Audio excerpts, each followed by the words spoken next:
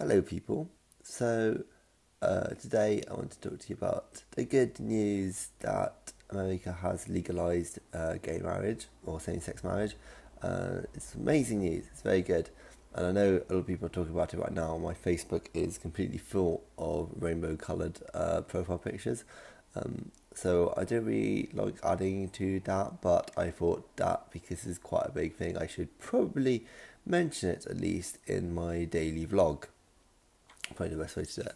So yeah, America has decided that same-sex marriage is now legal, um, which is which is great. It's a great step forward. I mean, in Britain we have, um, you know, I think most of the major nations have now accepted gay marriage, um, but for America to do it, which is an uber conservative country, and um, which has had like quite a bad history with gay rights, it's an amazing step forward.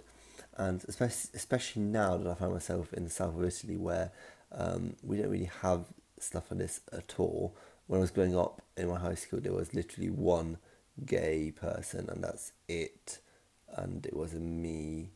And so it's really amazing that we've it's got this far, and I hope that Italy and all the other countries where gay marriage is still uh, not a reality, it becomes a reality, and people start accepting it for the beautiful thing that it is, because it is a beautiful thing.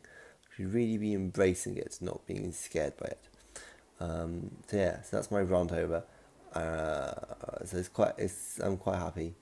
I'm sure it's a big victory um, for this cause. So yeah, good news, fantastic, and congratulations to all the Americans who supported this.